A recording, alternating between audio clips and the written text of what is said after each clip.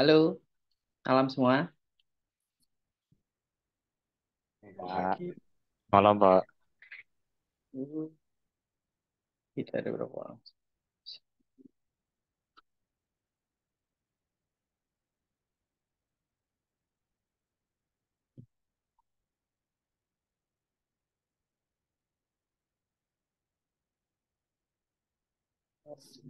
Oke.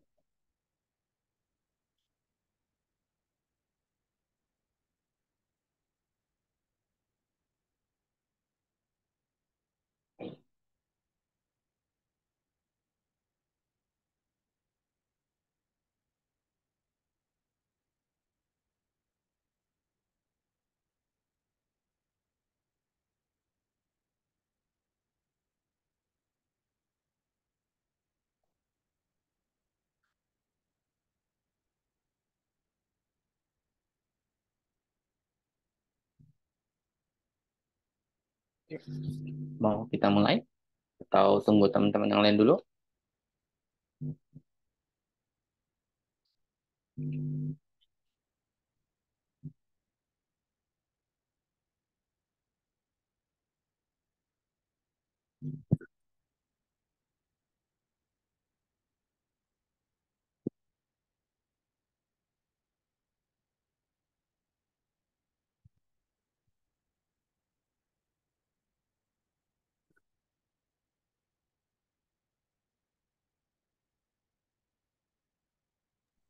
Eh, mungkin nunggu yang lain dulu, Pak.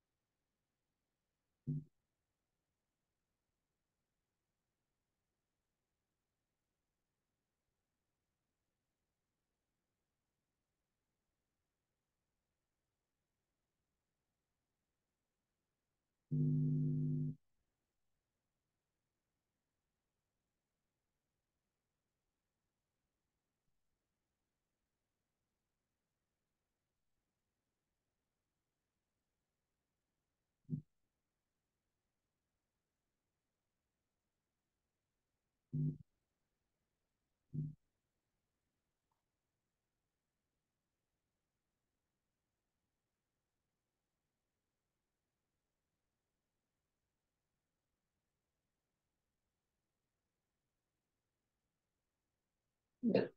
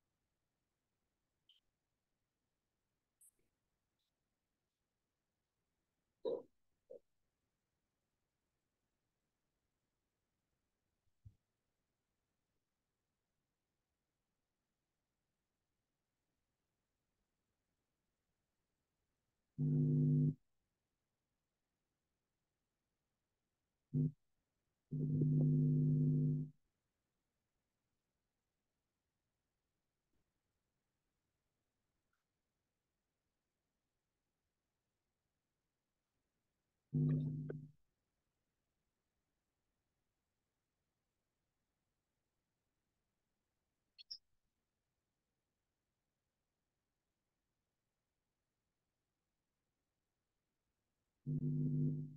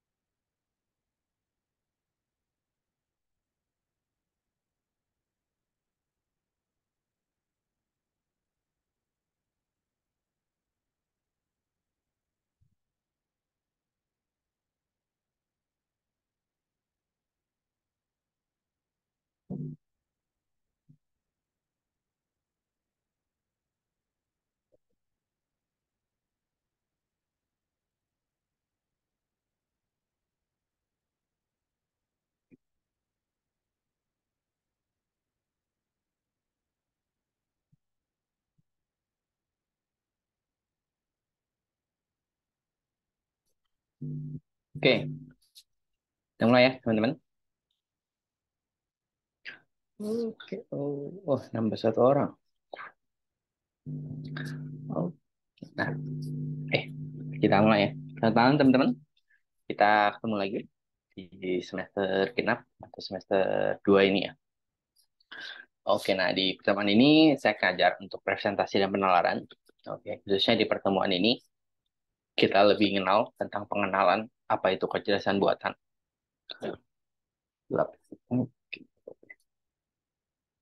Ini pengenalan, oke, okay. salah ya, kita skip aja yang ini.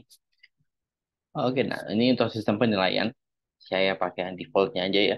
Oke, jadi untuk absen bobotnya 10%, tugas 20%, untuk UTS 30%, dan UAS 40%. Oke, jadi kalau teman-teman merasa gitu ya UTS atau UAS-nya ngepas atau apa jadi tugasnya harus dikerjakan harus di apa jadi dikumpulkan juga ya jadi cuma dikerjain doang. Jadi kumpulin saya juga nggak tahu. Buat tambah-tambah. Oke karena apa pertemuan kemarin lumayan.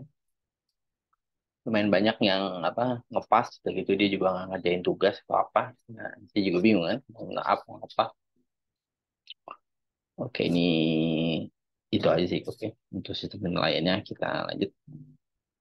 Tujuan, oke. Nah, untuk mata kuliah ini di sini kita bakal uh, belajar ya tentang prinsip-prinsip dasar. Oke, itu juga tujuannya itu supaya nanti kalau kalian ingin gitu ya atau dapat project entah itu ketemu sistem yang cukup kompleks gitu, cukup besar, cukup rumit gitu ya. Kalian tuh udah punya kemampuan nih untuk memproses apalagi kalau proyeknya tersebut gitu atau bangun sistemnya tersebut berkaitan dengan artificial intelligence.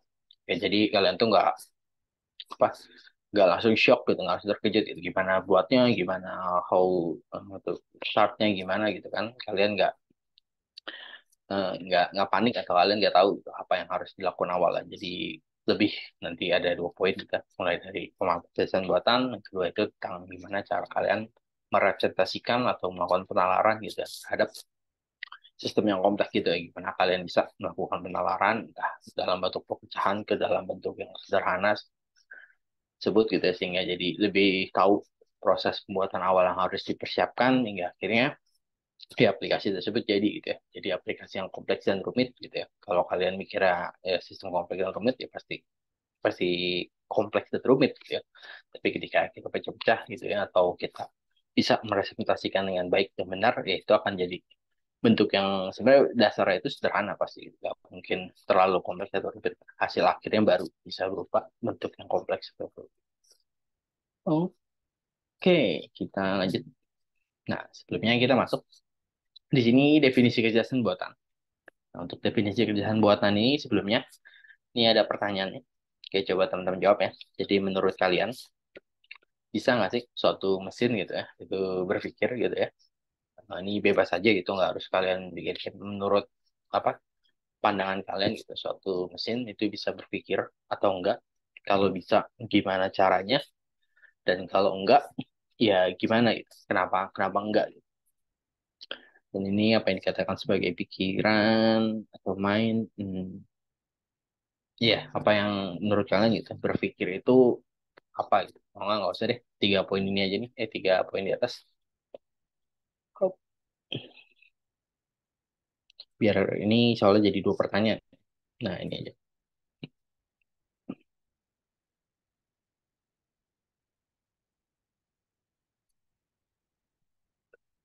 Coba, menurut kalian siapa aja boleh berpendapat menurut kalian mesin itu bisa berpikir atau enggak gitu ya.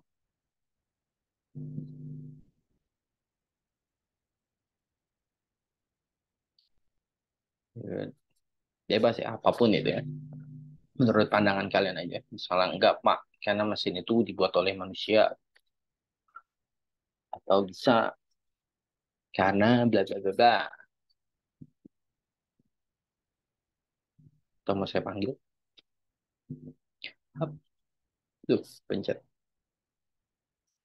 siapa ini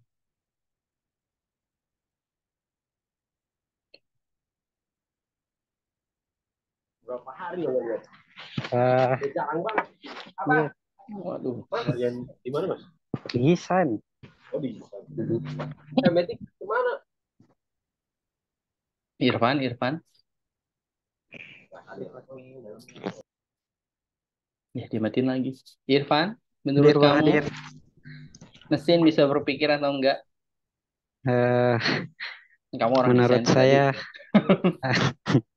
enggak. Jadi menurut saya eh, mesin bisa berpikir, Pak. Gimana caranya? Caranya dibuat sama manusia, Pak. Eh, dibuat sama manusia itu bisa penjelasannya bisa iya bisa tidak. Saya juga bingung. Oke, menurut Irfan gitu ya. Mesin bisa karena dia dibuat oleh manusia terus itu manusia ngebuat suatu apa ya suatu algoritma yang memungkinkan bahwa si mesin itu bisa berpikir sendiri gitu. Betul, Pak. Oke, satu lagi deh. Siapa ya? Renaldi? Ada Renaldi? Hadir, Pak. Iya, menurut kamu mesin itu. Atau si open open eh open AI lagi. Chat GPT lah ya menurut kalian. Kan lagi booming tuh. Itu dia beneran berpikir atau sebenarnya itu enggak gitu. Itu karena di program bisa mencari segala macam. Jadi sebenarnya itu dia nggak berpikir sebetulnya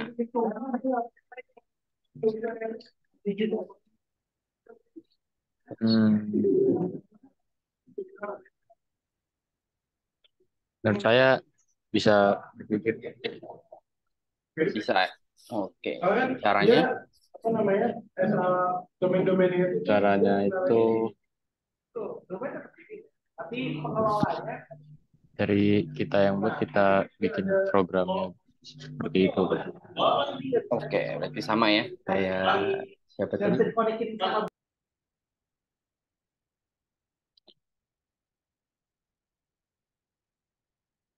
siapa tadi? Raihan ya? Eh Rai kok hilang dia oke lah. Berarti oke dua orang bilang kir bisa ya bahwa si AI ini bisa karena diprogram supaya dia bisa menghasilkan algoritma sendiri ya. Bukan karena apa dia bisa berpikirnya karena kita yang bikin gitu ya. Oke. Ya sebenarnya ya bebas aja gitu. Tiap orang bisa berpendapat. Mau dia berpendapat tadi bisa berpikir bisa enggak sebenarnya menurut nah ini menurut si Vincent dan Van der Kest ya menurut dia tuh arti kecerdasan ada beberapa poin di sini. Yang pertama itu adalah kemampuan untuk belajar atau mengerti dari pengalaman. Oke jadi seseorang bisa dikatakan memiliki sebuah kecerdasan atau cerdas ketika dia bisa belajar atau mengalami dari pengalaman dia yang ada sebelumnya. Kedua itu dia bisa memahami pesan yang kontradiktif atau eh, ambigu ya misalnya eh, misalnya banyak gitu misalnya saya ngelirik gitu kan tuh cet cet gitu. Kalau dia bisa memahami gitu oh maksudnya Pak Irwan tuh tolong ambilkan gelas atau segala macam. Nah itu merupakan suatu kecerdasan gitu ya. Dia bisa ngerti pesan yang kontradiktif atau ambigu gitu. bisa menanggapi pesan yang cepat eh, dan baik gitu ke situasi yang baru. Misalnya apa ya setelah kalian lagi jalan gitu ya belum pernah itu tiba-tiba ban kalian bocor gitu dan kalian belum pernah kejadian gitu ya seumur hidup kalian ban kalian bocor gitu. Jika kalian bisa menanggapi dengan cepat atas situasi tersebut ya itu juga salah satu bentuk kecerdasan dan terakhir ini menggunakan penalaran gitu dalam memecahkan masalah serta penyelesaiannya dengan dengan efektif. Nah ada banyak gitu pengertian dalam bentuk kecerdasan oke? Dan ini menurut dan ini untuk apa itu artificial intelligence ya, atau AI. Nah, di sini ada dua menurut si Simon, oke, dan si Richard and Knight. Oke, nah si Simon ini dia merupakan eh, menurut dia apa itu artificial intelligence merupakan suatu kawasan penelitian, oke, aplikasi dan instruksi gitu ya. Jadi sebuah kawasan penelitian ini suatu database aplikasi dan instruksi keseluruhan terkait di dalam program komputer untuk melakukan sesuatu yang di dalam pandangan manusia itu adalah sesuatu yang cerdas gitu ya. Jadi kalau kita punya uh, komputer gitu ibaratnya, kalau dia bisa mencatur, oke, dan itu ya menurut kita itu sesuatu yang cerdas ya udah merupakan suatu artificial intelligence. Oke, Oke, nah sedangkan menurut si Richard ini, ini merupakan suatu studi di mana komputer melakukan hal-hal yang pada saat ini tuh bisa dilakukan lebih baik dari manusia. Jadi ketika dia membuat suatu AI, ya menurut si Richard ini bisa dikatakan itu ini suatu artikel ketika dia bisa melakukan sebuah hal gitu ya, yang lebih baik daripada manusia. Oke.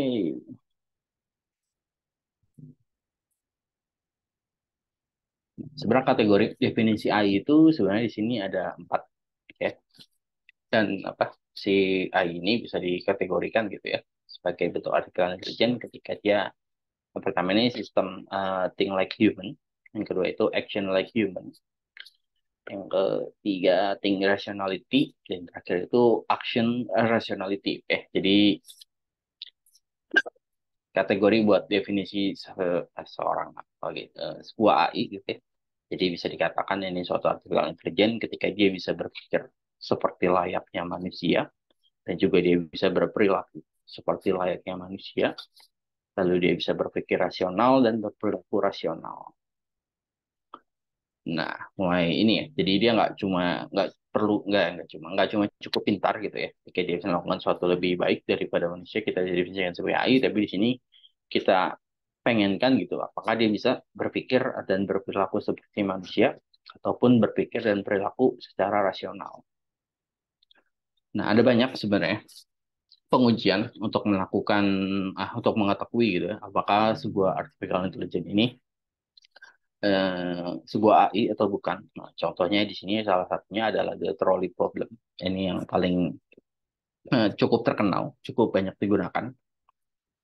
Oke, nah biasanya ini skemanya ini kayak gini. The trolley problem ini, misalnya ada suatu studi nih, dia ceritain bahwa misalnya kalian ada di dalam kereta, eh, nah di dalam kereta ini dia akan berjalan lurus nih, Oke, jalan lurus dan terus dia akan tabrak lima orang, oke, dan lima-limanya mati ya. Oke, dan di sini baik lagi satu-satunya yang bisa kamu lakukan itu cuma narik. Jadi kalau kita tarik tuas, keretanya tuh akan belok, tapi dia bakal nabrak satu orang. Jadi kalau kamu nggak tarik tuas, dia bakal nabrak lima orang, lima orang yang meninggal. Tapi kalau kamu tarik tuasnya, bakal nabrak satu orang, satu orang menua, uh, meninggal gitu ya. Nah, kalau misal kamu ada di posisi orang yang di dalam kereta ini, apa yang akan kalian lakukan nih? Kalian bakal tarik atau enggak? Sekali lagi ya, satu-satu yang bisa dilakukan, coba narik tuas.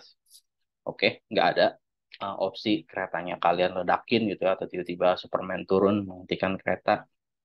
Terus segala macam tidak ada, opsinya cuma itu. Nah, kalau kalian nih, sebagai manusia, bakal kalian tarik atau tidak? Coba satu orang siapa ya? Ed.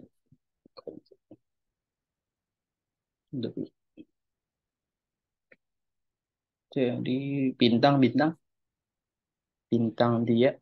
Hadir Pak, hadir. Nah, kalau kamu bakal tarik atau enggak? Gak ada cara lain nggak selain itu? Nggak ada, baru dijelasin. tidak ada satu, tidak ada apa Ya, cara lain. di hmm, ya kalau gitu eh, dipindahkan relnya ke satu orang mungkin Oke, berarti kamu bakal tarik yang ya? lain. Iya, Oke, berarti secara itu kamu bakal ya lebih baik menyelamatkan lima orang gitu ya daripada eh, apa ya, walaupun satu orang meninggal tapi lebih baik menyelamatkan lima orang ya. iya. Oke, thank you Bintang. Nah, ini sama, ini sebenarnya case kedua. Sebenarnya hampir sama. Sekali lagi, nggak ada kemungkinan lain lagi-lagi. Nah, ini kereta jalan lurus, bakal nabrak lima orang. Cuma bedanya di sini nih kita ada action langsung nih. Kalau tadi kan actionnya tuh masih apa nggak secara langsung gitu ya. Kita tarik tuas gitu ya. Mungkin apa beban mentalnya nggak terlalu berat. Dan narik tuas, lalu kereta berbelok juga lima orang selamat, tapi satu orang tertabrak. Gitu. Kalau di sini kalian tuh orang yang ada di belakang apa nih orang yang biasanya besar ini nih. Jadi kalau kalian diem aja, lima orang ini ketabrak, meninggal semuanya. Kalau kalian dorong si orang ini bakal dia yang ketabrak, tapi lima orang ini selamat. Nah, sekali lagi, nggak ada kemungkinan lain, oke? Nggak ada eh, apa? Ya keretanya eh, berhenti tiba-tiba, nggak ada Superman, nggak ada apa pun. Oke, apa yang kalian lakukan? Siapa? Bagas, Bagas. Ya, Pak. Kenapa? Hmm, Yang kamu lakukan apa? Akan kamu dorong tuh orang demi menyelamatkan lima orang ini, atau kamu diem aja? Dorong aja, Pak. Hah? Dorong, Pak. Dorong. Oke, Iya. ini salah satu ciri-ciri psikopat. Enggak lah, Pak. Kan lebih baik Oke ya. lima, Pak. Jadi, oke, kamu bakal dorong untuk menyelamatkan lima, lima orang ya. Oke, nah ini Pak. oke lah, itu kita anggap adalah solusi yang paling optimal gitu ya. Timbang lima orang harus meninggal gitu ya. Lebih baik satu orang Iya. gitu ya. Nah gitu dengan eh, si AI gitu ketika dia temukan eh, kita kasih gitu permasalahan ini ya si AI itu bakal lebih memilih menyelamatkan lima orang gitu ya. Timbang eh, ketimbang lima orang yang meninggal gitu. Lebih baik satu orang gitu. It's better gitu. Oke, nah tesnya tuh sebenarnya ada di sini. Gimana kalau ternyata nih satu orang ini adalah orang yang kita kasihi nih. Ini adalah pacar kita gitu atau mungkin orang tua kita. Akankah tadi siapa? Bintang, akankah kamu tetap tarik gitu ya tuasnya? Lebih baik menyelamatkan lima orang daripada satu orang. Kalau ternyata kamu tahu bahwa ternyata satu orang itu adalah eh, pacar kamu gitu atau so, sohib kamu banget gitu atau orang tua kamu bakal tetap kamu tarik atau enggak gitu ya. Jadi, jadi lebih Hmm? tambah susah sih. Kenapa? Jadi lebih tambah susah untuk dipikirkan. Nah, lebih mulai ada keraguan gitu ya, mulai berpikir bimbang gitu ya. Mhm. Sama seperti ini, gimana kalau ternyata orang berbadan besar ini atau adalah teman kamu gitu ya, atau ini kamu tetap bakalan dorong dia demi menyelamatkan lima orang yang kamu nggak mungkin nggak kenal sama sekali, tapi satu orang ini kamu kenal gitu ya, apakah mungkin kamu tetap apa dorong dia gitu? Nah, di sini kita berarti eh, ketika dia manusia, dia pasti mulai berpikir gitu ya, mulai adanya keraguan, mulai dia bimbang gitu ya, mulai kayaknya gue tutup mata aja deh gitu kan, lebih baik ke gue tarik nih. Apa, Nah, si artificial juga sama. Kita harapkan gitu ya, ketika dites itu si artificial ini dia akan tetap ragu gitu, atau tetap bimbang gitu. ya. Ketika si AI-nya ini tetap gitu ya, lebih baik menyelamatkan orang daripada satu gitu, nggak ada keraguan sedikit pun atau apa pun ya. Bisa dikatakan ya dari segi empat kategori dari apa, dari definisi AI kategori ini dia mulai apa ada kegagalan karena dia nggak bisa berperilaku seperti manusia dan juga ber perilaku atau berpikir secara rasional. Nah, di sini tesnya jadinya uniknya. Apakah si robot itu atau si AI itu bisa bimbang gitu ya ketika menghadapi kasus seperti ini. Oke, Di- ini salah satu tesnya aja. Sebenarnya ada beberapa tes, nggak cuma ini. Cuma di situ menarik ya. Jadi ketika kita buat gitu ya, kita ibaratnya agak sedikit dilema gitu ya. Ketika kita buat, kita mengharapkan hasil paling baik, tapi ketika disuruh menghadapi situasi unconditional seperti ini gitu ya, kita pengen ya si ini tuh apakah ada sisi rasional segala macam. Oke, nah jadi ketika AI-nya ditanya gitu, apakah kamu mau menghancurkan umat manusia gitu ya? Ketika dijawab iya, ya udah kelar kita. Oke, nah ini detail pandang. Oke, nah ini dari sudut pandang kecerdasan berarti jason buatan itu dia bisa membuat mesin tadi menjadi suatu cerdas gitu ya. Eh, Contohnya ber- berbuat seperti yang dilakukan manusia. Tadi kita buat suatu program gitu ya. Kita pengen dia tuh menjadi sesuatu yang cerdas itu bisa menentukan keputusan sendiri, bisa melakukan analisa segala macam. Nah, dari sudut penelitian otomatis dia tuh pengen uh, melakukan sesuatu yang sebaik dilakukan manusia atau mungkin lebih baik dilakukan oleh manusia.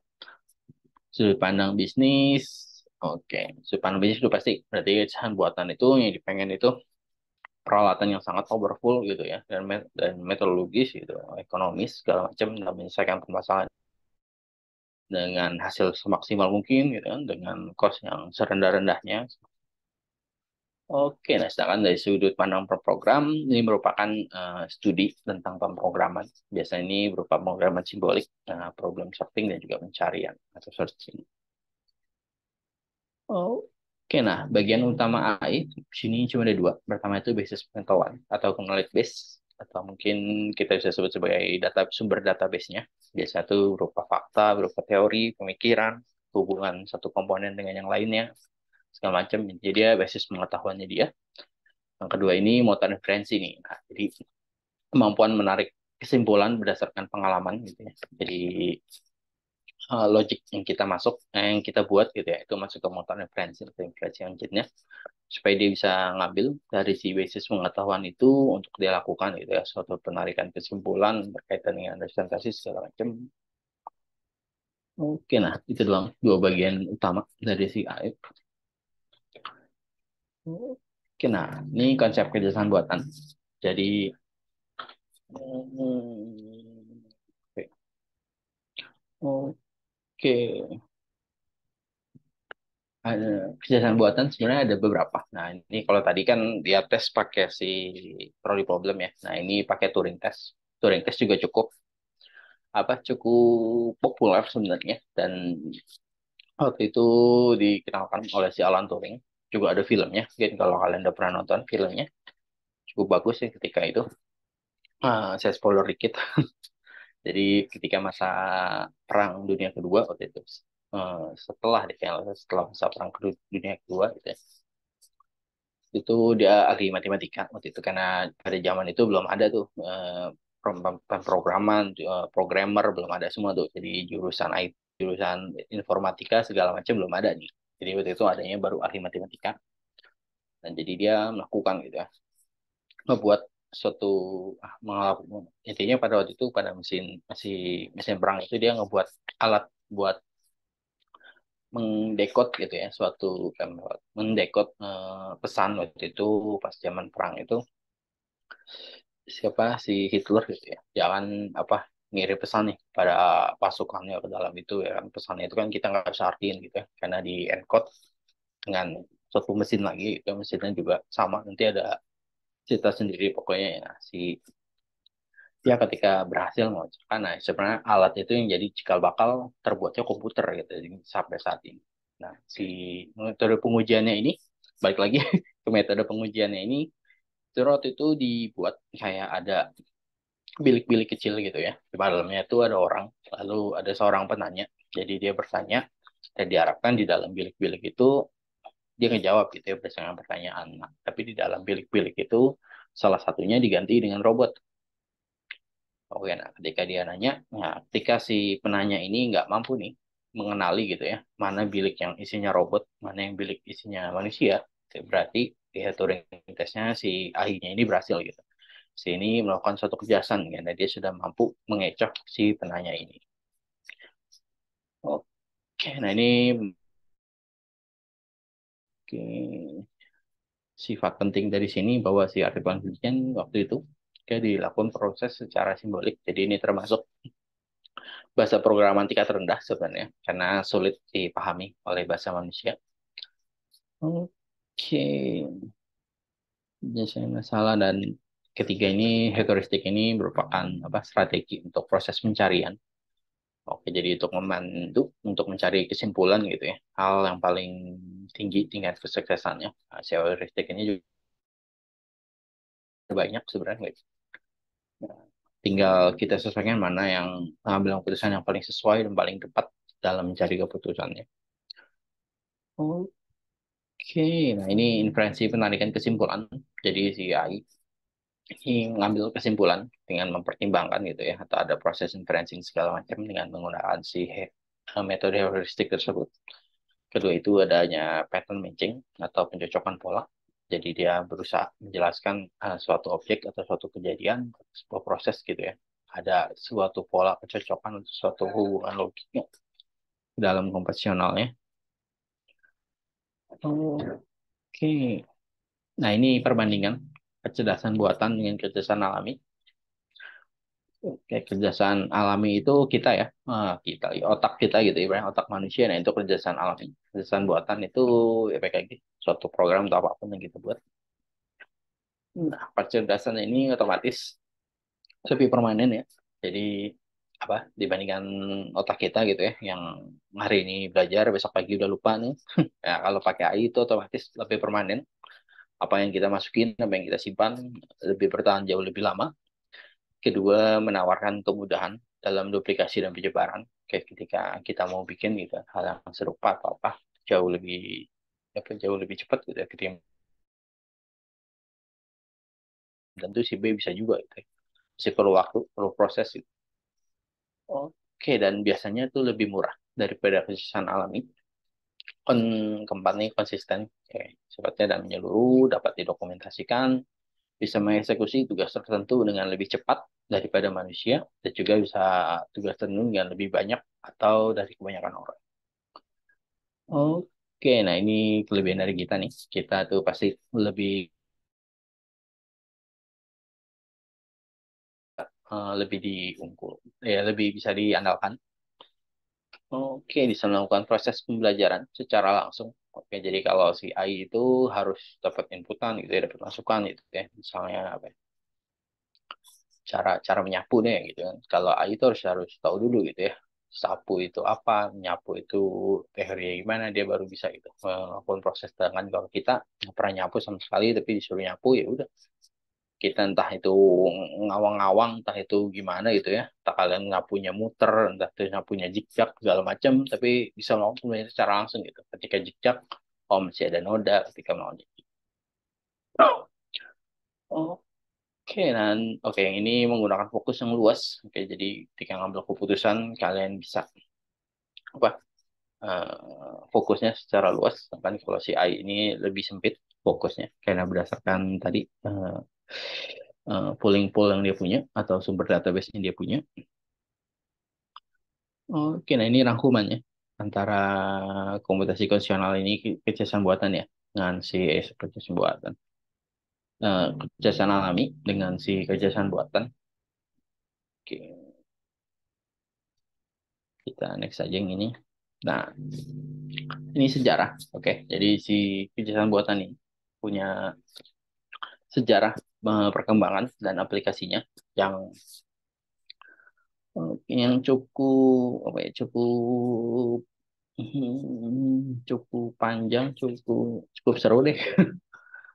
Oke, nah awalnya ini disebut sebagai zaman batu atau pada tahun ini 1943-1956 Oke, nah di sini awal kerjanya, adanya awal kerja dari JST ini jaringan saraf tiruan dan juga logika. Oke, lalu ada teori logika dari si Alan Newell dan Herbert Simon. Nah, lalu si John McCarthy ini, dia mulai apa? Memberi nama suatu bidang gitu, ah, bidang artificial sebutkan gitu pada tahun itu oleh si John McCarthy di Dartmouth Workshop Summer pada 1956. Jadi sebelumnya kan belum ada tuh, belum ada belum ada apa programming, belum ada ilmu apa pun gitu ya, dan riset buatan juga belum ada. Nah, baru dikenalkan oleh si John McCarthy ini di Oxford Summer dia bilang gitu, kita ada bidang baru namanya artificial intelligence. Oke, nah, jadi sebelum zaman itu disebut zaman batu gitu ya, kan belum mengenal ini ada suatu bidang baru, artificial intelligence baru mulai masuk ke awal antusias atau harapan besar Nah, di mana si John McCarthy dia mulai kenalin gitu ya bahasa programan AI namanya Lisp, Lisp programming. Lalu dia nemuin time sharing, bikin space stacker gitu ya. Lalu dia ada pembelajaran, pengetahuan, pemodelan JST segala macam di sini masa-masanya apa? baru baru bangkit, baru mulai dikenal lah ibaratnya. Awal-awal jadi masih antusias. Oke, dari sini mulai banyak ya, mulai banyak penemuan tuh ya. Ada pembelajaran ini, ada si Samuel Checker Player, ada metode resolusi Robinson, oke, dan demonstrasi-demonstrasi gitu tentang perilaku intelijen.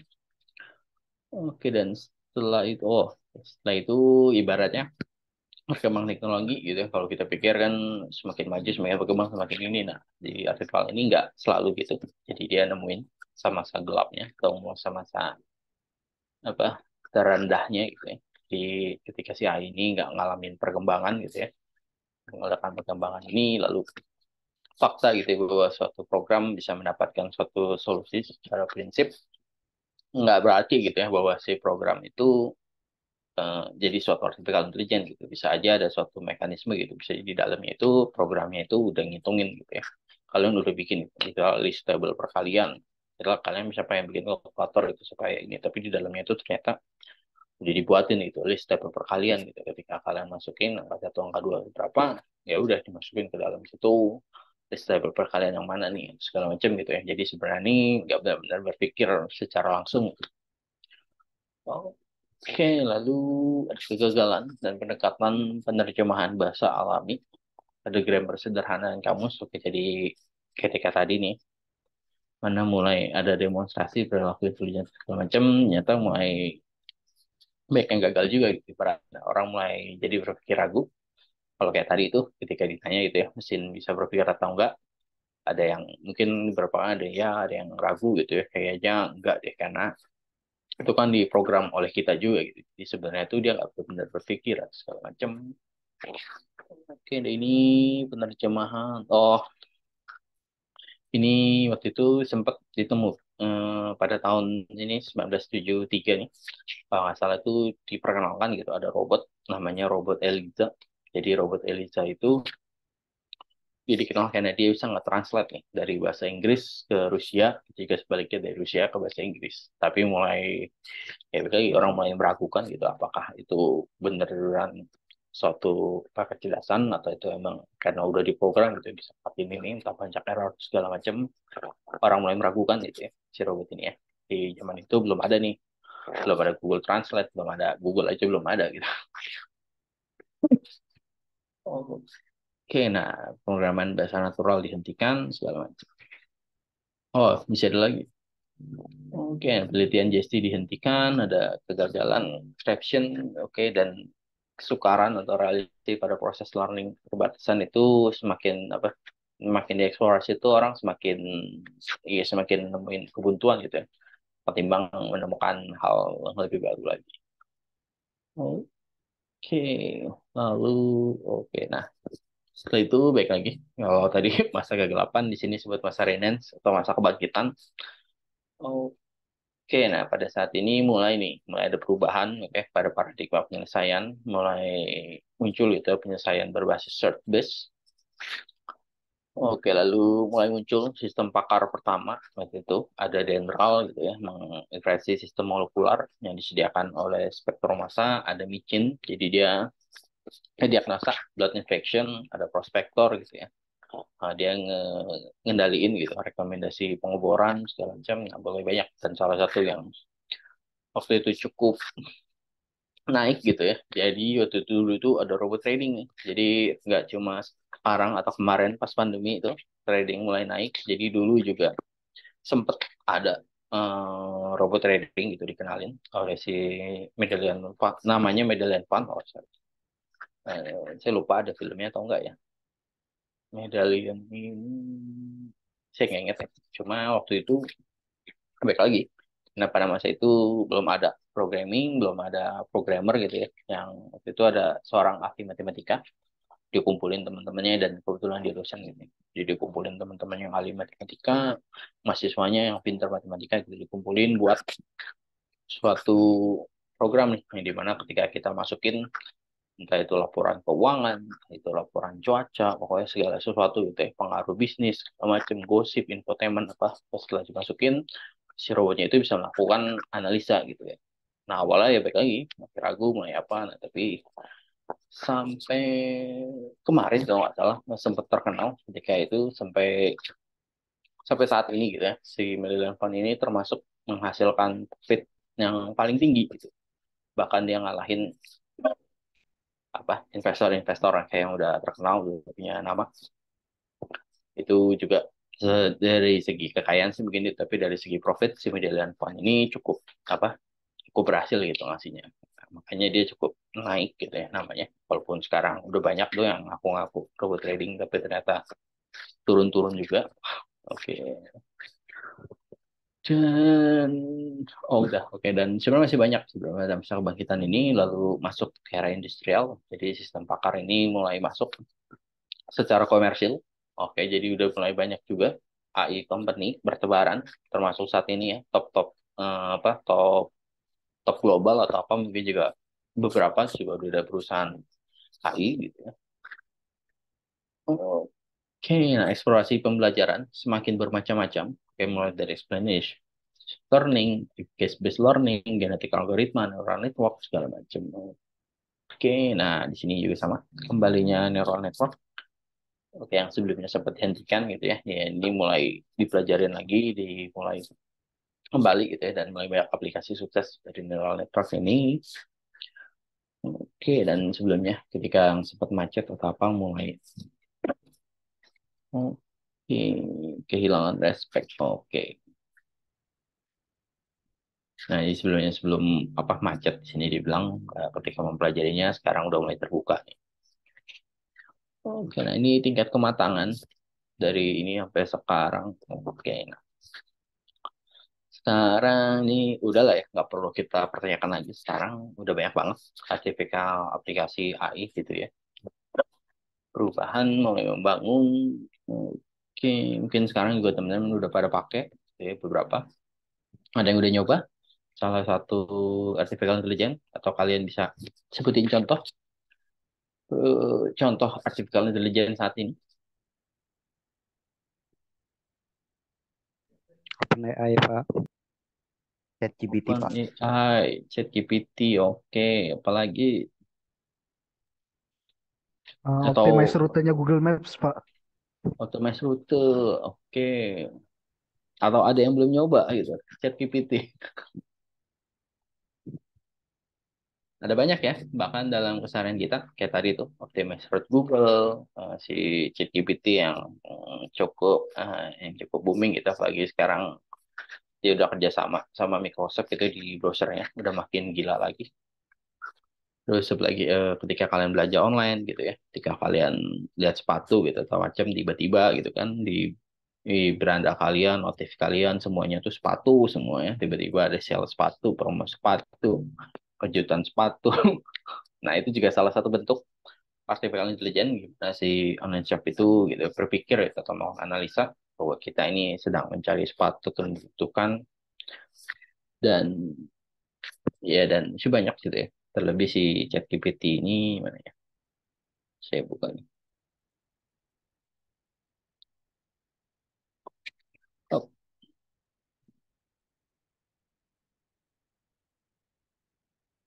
Lu bukan lumayan lagi sih ini mas. Nggak tahu, Eh, tergantung kalian ya. Kalau buat yang kalian belum pakai, eh, gunakan karena saya pakainya juga udah hampir tiap hari sekarang buat kerjaan, buat apa. Timbang search di Google sekarang apa lebih lebih cepat gitu tahu nih walaupun nggak 100% benar gitu ya kadang masih salah tapi balik lagi namanya balik lagi kalau kita ngeh gitu hal ini salah ya seenggaknya 90% apa yang kita mau tuh udah terjawab gitu ya ketimbang kita search di Google kita mesti cari dulu gitu ya link-linknya gitu kan belum kalau sesuai atau enggak kalau enggak cari lagi atau apa gitu penggunaan keyword tapi kalau pakai ini 90% apa yang kita pengen tuh biasanya ketemu gitu. Walaupun hasilnya salah atau segala macem ya balik lagi ya kan namanya juga ini masih ada space untuk berkembang. Oke gimana ya? Makin ah, ngaco doang sih sebenarnya ini mah sendirian query itu saya mau eh kan ada coding atau pengen melakukan sesuatu saya tanyain. Oke. Oh ini ya, search. Oke nah ini sebenarnya saya apa pengen nyari itu ada bisa nggak sih yang lebih efisien gitu ya ketimbang saya looping gitu ya datanya kan melakukan pengulangan atau apa. Efisien ada nggak sih? Siapa tahu lebih cepat lebih apa. Metcalculation nah, cek array data. Oh ini semua ya? Oh ini nih ini juga misalnya. Ini saya ngetes lagi apa lagi main game gitu ya. Saya ngetes teori pertanyaan gitu ya. How to beat boss gitu bla bla bla gitu ya. Tapi dia ngasih informasi yang salah. Terus saya coba gitu, saya kasih feedback gitu ya bahwa bosnya itu salah gitu, bos yang benar itu ini gitu ya. Apakah dia bisa menganalisa, tapi ternyata sih tetap salah. tapi ya udahlah. Tapi seenggaknya dari respon dari ini pun udah cukup apa ya, udah cukup udah cukup GG sih, itu cukup kita cengang lah ngeliat dari responnya gitu ya. Ini itinerary gitu, saya mau ngetes buat itinerary segala macam karena saya ngeliat apa demonya si Microsoft tuh ternyata bisa sampai seperti ini gitu ya segala macam. Ini masih agak kurang. Eh, screennya ini Pak, ngestak. Oh nge-stuck ya? Oke lah, apa-apa gitu. Kita balik lagi. Oke, itu contoh doang sebenarnya. Oke, bahwa apa betapa betapa apa ya betapa ngaconya dah perkembangan AI saat ini gitu ya bahkan dari tiap semester itu saya selalu apa selalu berbeda-beda gitu ya kalau semester lalu itu saya masih jelasnya tuh gimana tentang si itu si Elon Musk itu dia bikin apa AI yang dia taruh chip ke monyet gitu ya. Jadi si monyetnya bisa main game cuma dengan apa pikiran dia gitu ya. Jadi main Tetris gitu. Jadi dengan pemikiran itu si monyet mikir kiri atau apa. Jadi dia bisa bermain game segala macam. Nah sampai saat ini terus berubah gitu. Jadi tiap kali saya ngajar selalu ada hal yang baru, selalu hal yang perubahannya pun juga nggak nggak sedikit gitu, nggak hal yang terlalu itu. Jadi siap-siap buat kalian karena kita nggak tahu gitu. Setelah kalian lulus nanti perkembangan apa lagi gitu ya di industri artificial intelligence ini. Oke, nah kita masuk ke lingkup lingkup pejajahan buatan. Karena tadi ya berdasarkan sejarah itu, jadi jasa buatan ini makin berkembang, makin banyak, makin luas lagi. Nah, jadi jasa buatan ini awalnya cuma satu, sekarang jadi dipecah-pecah nih berdasarkan lingkupnya. Nah, jadi ruang lingkup perusahaan ini pertama membuat untuk sistem pakar. Nah, jadi si artificial intelligence ini dia memiliki keahlian untuk menyelesaikan suatu masalah gitu ya dengan meniru keahlian yang dimiliki oleh si pakarnya gitu ya. Contohnya sistem pakar diagnosis penyakit gitu kan. Kan dia meniru uh, keahlian yang dimiliki oleh dokter gitu untuk menganalisa penyakit pasien. Nah, kedua ini pengolahan bahasa alami atau natural language processing. Ya, jadi bisa berkomunikasi dengan komputer menggunakan bahasa sehari-hari Nah, juga sekarang cukup banyak juga menggunakan bahasa alami. Speech recognition ini untuk kenalin pengenalan ucapan gitu ya. Diharapkan uh, kita bisa berkomunikasi. Salah satu sih itu tuh si ChatGPT itu dengan speech uh, walaupun nggak cuma suara ya, tapi kita bisa berkomunikasi gitu. Kita chat apa pun gitu ya, mau hal sengawur apa pun si ya apa responnya tuh nggak nggak kayak robot gitu, nggak kayak itu, tapi benar seperti manusia. Oke, yang keempat ini robotika atau sistem sensor, robotik dan sensoring system. Kelima ini computer vision, jadi menginvestasikan gambar atau objek tanpa melalui eh tampak ke dalam komputer. Oke, yang keenam ini intelligent computer atau intelligence jadi sebagai tutor untuk mengajar atau berlatih.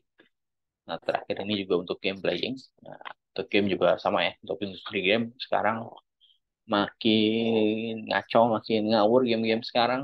Grafiknya makin gila. Oke lah. Oke dan oke udah itu tadi beberapa ruang lingkup. Jadi ketika kalian mau desain buatan karena udah banyak, jadi kalian bisa fokusin gitu. Kalian mau ngebuat apa? Entah mau ke expert system, entah mau pengolahan bahasa yang alami, pengenalan speech dalam ini. Nah, oke sampai sini ada yang mau nanya?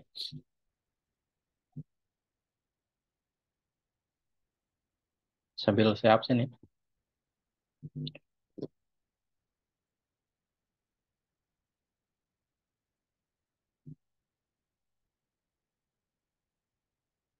Renaldi, ada? Hadir, Pak. Oke. Bintang dia Hadir, Pak. Bagas. Hadir, Pak. Ya. Irfan Maulana. Irfan. Hadir, Pak, hadir. Oke. Uh, Raihan. Hadir, Pak. Muhammad Khoiri. Hadir, Pak. Muhammad Rizik, Hadir, Pak. Us Usama, Usama Hadir, Pak. Putra. Oh, Hadir, Pak. Oke, oke. Sebentar.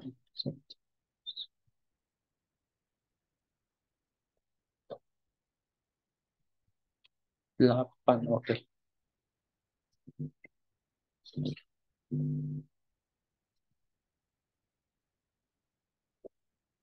Ini ada pertanyaan?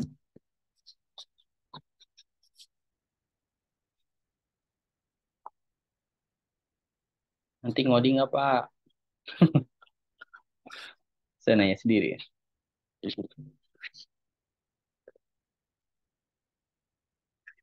Oke, kalau nggak ada, saya akhiri pertemuan hari ini.